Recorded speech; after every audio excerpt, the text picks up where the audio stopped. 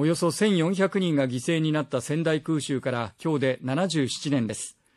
当時の被害を写真で振り返る企画展が青葉区で開かれています。戦災復興展は1945年7月10日未明に起きた仙台空襲を語り継ごうと毎年この時期行われているもので空襲直後に撮影された写真や地図など25点が展示されています。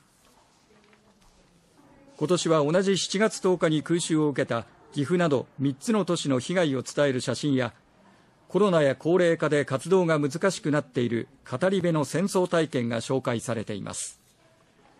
戦災復興展はトークネットホール仙台で18日まで開かれています。